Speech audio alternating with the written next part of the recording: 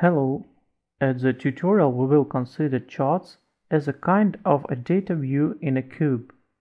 Let's use the grid simple cube. Move to the top chart.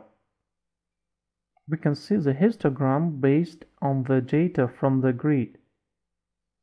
We can change the chart style. Bar Line point. Area pie horizontal bar.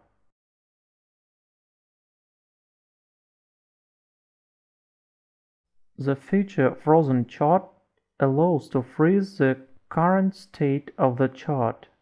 Subsequent changes of the data in the grid will not be displayed in the chart. Let's see the chart properties. We can choose from three data sources.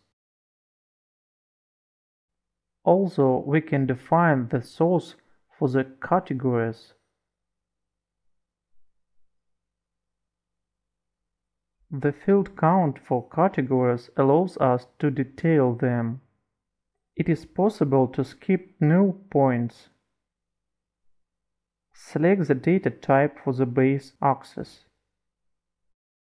The chart columns can be marked.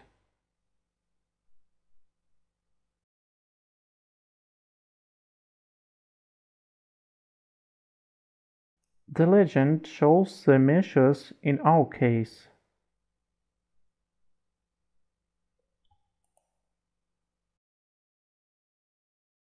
The data management allows us to change the data.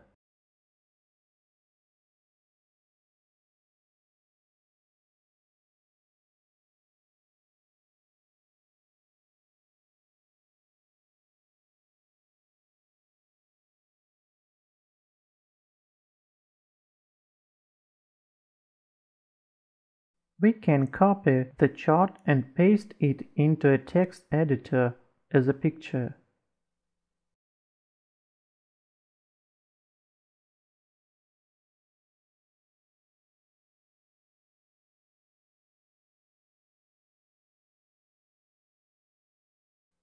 Our lesson is over.